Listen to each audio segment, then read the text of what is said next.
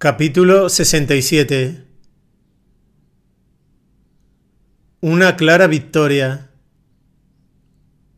Fue durante la ausencia de Uthman en Meca cuando le sobrevino al profeta un estado comparable al que experimentaba cuando recibía una revelación, pero que le dejó en plena posesión de sus facultades.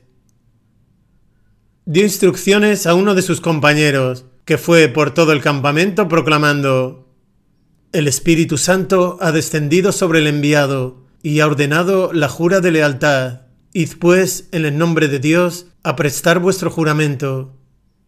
Mientras tanto, el profeta se había sentado bajo una acacia que lucía el verdor primaveral de sus nuevas hojas, y uno a uno los compañeros vinieron y le juraron fidelidad.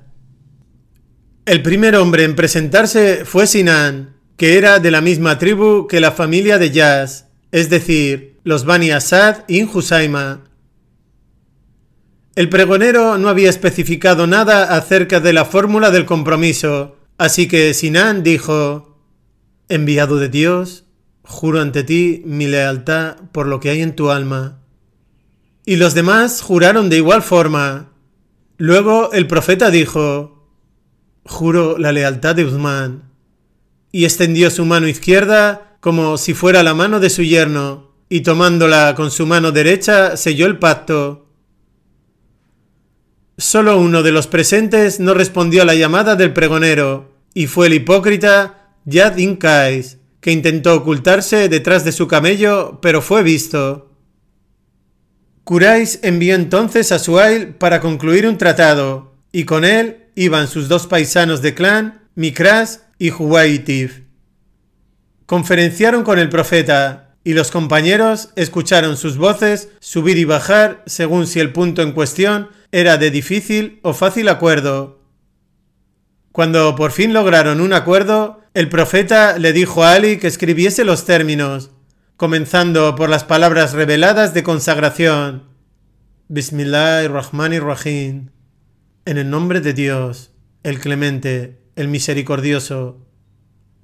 Pero Suay objetó. En cuanto a Rahman, dijo, yo no sé qué es. Escribe pues, Bismik Allahumma, en tu nombre, oh Dios, como solías escribir. Algunos de los compañeros exclamaron, por Dios no escribiremos sino Bismillah y Rahman ar-Rahim. Pero el profeta no les hizo caso y dijo, escribe Bismik Allahumma y siguió dictando estos son los términos del pacto entre Muhammad, el enviado de Dios, y Suail, hijo de Amr. Pero de nuevo Suail protestó. Si supiéramos que eres el enviado de Dios, dijo, no te habríamos impedido el acceso a la casa de Dios, ni tampoco te habríamos combatido. Escribe en su lugar Muhammad, el hijo de Abdallah. Ali ya había escrito el enviado de Dios, y el profeta le dijo que borrase esas palabras. Pero Ali respondió que no podía. El profeta le dijo entonces que le señalase con el dedo las palabras en cuestión, y él mismo las eliminó. Seguidamente le dijo que escribiera en su lugar el hijo de Abdalá, lo cual hizo. El documento continuaba han acordado de poner la carga de la guerra durante diez años, durante los cuales los hombres estarán seguros y no tendrán pendencias unos con otros, con la condición de que si alguien de Quraysh acudiese a Muhammad sin permiso de su tutor, Muhammad se lo devolverá. Pero si algunos de los que están con Muhammad se fuese con Quraysh, no será devuelto. No habrá subterfugio ni traición y quien desee entrar en el compromiso y pacto de Muhammad podrá hacerlo, y quien desee entrar en el compromiso y pacto de Quraysh podrá hacerlo. Se encontraban presentes entonces en el campamento algunos jefes de Yusaja que habían venido a visitar a los peregrinos, mientras que uno o dos representantes de Bakr habían seguido a Suail, y en este punto los hombres de Yusaja se pusieron en pie y dijeron somos uno con Muhammad en su compromiso y en su pacto. Los hombres de Bakr dijeron entonces, somos uno con Quraysh en su compromiso y en su pacto. Y este acuerdo fue posteriormente ratificado por los jefes de ambas tribus. El tratado concluía con las palabras Tú, Muhammad, te alejarás de nosotros este año y no entrarás en Meca estando nosotros presentes y en contra de nuestra voluntad. Pero el año próximo nosotros saldremos de Meca y tú entrarás con tus compañeros, permaneciendo en ella tres días sin portar otras armas que las del viajero, con las espadas envainadas. En virtud de la visión del profeta, los compañeros habían tenido la certeza del éxito de la expedición y al conocer los términos del tratado y comprender que después de haber llegado al borde mismo del recinto sagrado tendrían ahora que regresar a casa sin haber conseguido nada, fue casi más de lo que podían soportar. Pero lo peor no había llegado aún. Mientras estaban sentados allí, sumidos en un silencio osco y explosivo, se escuchó un ruido de cadenas y un joven entró tambaleándose en el campamento, con los pies trabados. Era Abu Yandal, uno de los hijos menores de Suail. Su padre lo había encerrado a causa de su Islam, temiendo que escapase a Medina. Su hermano mayor, Abdalá, se encontraba entre los peregrinos y estaba a punto de darle la bienvenida cuando Suail agarró la cadena que rodeaba el cuello del prisionero y le golpeó con fuerza en la cara. Entonces se volvió hacia el profeta y dijo, nuestro acuerdo fue firmado antes de que viniera a ti este hombre. Es cierto, dijo el profeta. Devuélvenoslo entonces, dijo Suael. Musulmanes, gritó Abu Yandal con todas sus fuerzas. ¿Vais a devolverme a los idólatras para que me torturen por causa de mi religión? El profeta llevó a Suail aparte y le pidió como un favor que dejase libre a su hijo, pero Suail rehusó tajantemente. Sus compañeros embajadores, Mikras y Huwaitib, se habían mantenido hasta entonces en silencio, pero sintiendo que este incidente auguraba un mal comienzo para la tregua, decidieron intervenir. Muhammad, dijeron, le damos nuestra protección en tu nombre. Esto significaba que los hospedarían con ellos, lejos de su padre, y cumplieron su promesa. Ten paciencia, Abu Yandal. Dijo el profeta, con toda seguridad, Dios os dará a ti y a quienes están contigo ayuda y una salida. Hemos acordado con esta gente los términos de una tregua y les hemos dado nuestra solemne promesa, como han hecho ellos, y no vamos a romper ahora nuestra palabra. En este punto, Umar no pudo contenerse por más tiempo. Se levantó se dirigió hacia el profeta y dijo, ¿No eres el profeta de Dios? Y él respondió, Así es. ¿No está de nuestra parte la verdad mientras que nuestros enemigos están en el error?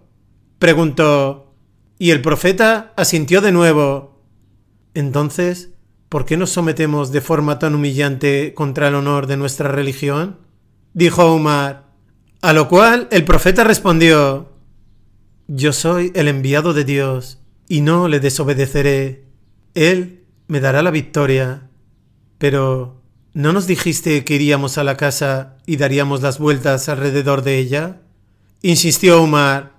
Así es, contestó el profeta. Pero, ¿te dije acaso que sería este año? Umar reconoció que no. Por cierto que irás a la casa, dijo el profeta, y darás vueltas alrededor de ella.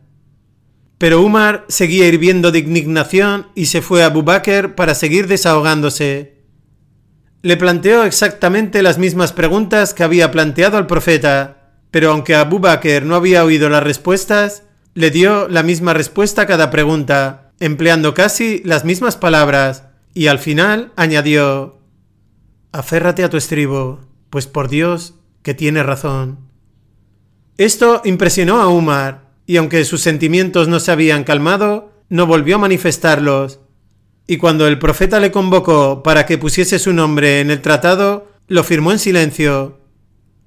El profeta también le dijo a Abdalá, el hijo de Suay, que pusiese su nombre en él. Otros musulmanes que lo firmaron fueron Ali, Abu Bakr, Abderrahman y Nauf y Mahmud ibn Maslama. Algo de la amargura general parecía haberse suavizado, pero cuando Suail y los otros abandonaron el campamento, llevándose con ellos al lloroso Abu Yandal, el ánimo de los hombres volvió a encenderse. El profeta se encontraba en un lugar aparte con quienes habían firmado el documento. Les dejó entonces y se encaminó hacia el grupo principal de peregrinos. Levantaos y sacrificad a vuestros animales, les dijo, y afeitaos la cabeza. Nadie se movió y lo repitió una segunda y una tercera vez, pero ellos simplemente le miraron en silencio entre aturdidos y asombrados. No se trataba de una rebelión por su parte, pero después de que sus expectativas hubieran quedado destrozadas por el giro de los acontecimientos, se encontraban verdaderamente perplejos por la orden de hacer algo que sabían que era ritualmente incorrecto, pues según la tradición de Abraham, los sacrificios tenían que realizarse dentro del territorio sagrado, y lo mismo se aplicaba al rito de afeitarse la cabeza. Sin embargo, su aparente desobediencia desconcertó al profeta, que se retiró a su tienda y le contó a un salama lo que había sucedido. Sigue adelante, dijo ella, y no hables a nadie hasta que hayas hecho tu sacrificio. El profeta se dirigió, pues, al camello que él mismo había consagrado y lo sacrificó, diciendo en voz alta, de forma que los hombres pudieron oír, Bismillah, Allahu Akbar. En cuanto pronunció estas palabras, los hombres se incorporaron de un salto y corrieron hacia sus camellos para realizar sus sacrificios, tropezando y cayendo unos encima de otros en su deseo de obedecer. Y cuando el profeta llamó a Girás, el hombre de Yusaja que había enviado a Meca antes de Uthman, para que le rasurase la cabeza, muchos de los compañeros comenzaron a afeitarse la cabeza unos a otros con tanto vigor que un salama temió como más tarde observaría, que pudieran ocasionarse heridas mortales. Pero algunos de ellos solamente se cortaron mechones del cabello, sabiendo que esto se aceptaba tradicionalmente como sustituto. Mientras tanto, el profeta se había retirado a su tienda con Girás, y cuando el rito hubo sido realizado, salió a la entrada con el cráneo afeitado, y dijo, Dios tenga misericordia de los que se afeitan la cabeza. Ante lo cual, los que se habían cortado el pelo protestaron. ¿Y de los que se cortan el pelo, enviado de Dios? Pero el profeta repitió lo que había dicho en primer lugar, y las voces de protesta se elevaron aún más. Luego, después de otra repetición y una tercera protesta tronadora, añadió, ¿y de los que se cortan el pelo? Cuando se le preguntó después por qué en un principio solo había pedido por los que se rasuran la cabeza, respondió, porque ellos no dudaron. De vuelta a su tienda, el profeta recogió del suelo su exuberante cabello negro y lo arrojó sobre una mimosa cercana.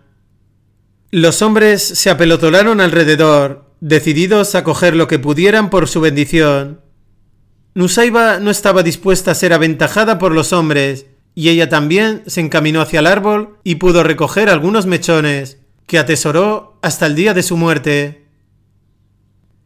El suelo del campamento quedó cubierto con el pelo de los peregrinos, pero de repente llegó una fuerte racha de viento que levantó el pelo del suelo y lo arrastró hacia Meca, al interior del territorio sagrado, y todos se regocijaron, tomándolo como una señal de que su peregrinación había sido aceptada por Dios en virtud de sus intenciones, y comprendieron ahora por qué el profeta les había ordenado hacer sus sacrificios. Una vez que se hubieron puesto en marcha de regreso a Medina, la conciencia de Uthman comenzó a inquietarle, y su preocupación aumentó sobremanera cuando cabalgó hasta el profeta con intención de entablar conversación con él. Y el profeta, eso le pareció, se mostró claramente distante y reservado. Umar siguió adelante cabalgando y diciéndose, Oh Umar, que tu madre llore a su hijo. Más tarde diría que se encontraba tan preocupado por haber puesto en duda la sabiduría del profeta que temió que llegase una revelación especial condenándole. Sus temores llegaron al límite al escuchar detrás de él los cascos de un caballo al galope, y el gilete lo llamó para que volviese junto al profeta. Pero su angustia se desvaneció en un instante al ver el semblante del profeta radiante de alegría. Ha descendido sobre mí un sura, dijo, que es más querido para mí que todo cuanto hay bajo el sol. La nueva revelación no dejaba duda de que la expedición de la que ahora regresaban debía ser considerada victoriosa, porque se iniciaba con las palabras Ciertamente te hemos dado una clara victoria. 48.1 También hablaba del reciente juramento de fidelidad. En verdad, Dios estuvo complacido con los creyentes cuando te juraron fidelidad, oh Muhammad, bajo aquel árbol porque sabía lo que había en sus corazones, e hizo descender sobre ellos paz interior, y les recompensó con la buena nueva de una victoria cercana. 48-18 La complacencia divina a la que se refiere era nada menos que la promesa del Ridwan, para quien fuese fiel a su juramento, y este compromiso beatífico se conoce como el pacto del Ridwan. El descenso de la Sakina Nota. En hebreo, Sekina. La paz interior se menciona también en otro versículo. Él es quien hizo descender paz interior en los corazones de los creyentes, para que se vieran reforzados en su fe, para que Él haga entrar a los creyentes y a las creyentes en jardines por los que corren arroyos, en los que morarán, y borre sus malas acciones pasadas. Y eso es ante Dios un magnífico triunfo. 48-4-5 La visión del profeta, que había originado la expedición, es mencionada como sigue. Ciertamente, Dios ha confirmado la visión verídica de su enviado. Sin duda, entraréis en la mezquita inviolable, si Dios quiere, seguros, con la cabeza afeitada o el pelo cortado, sin temor, pues Él ha sabido siempre lo que vosotros no podíais saber, y ha dispuesto para vosotros, además de esto, una victoria cercana. 48-27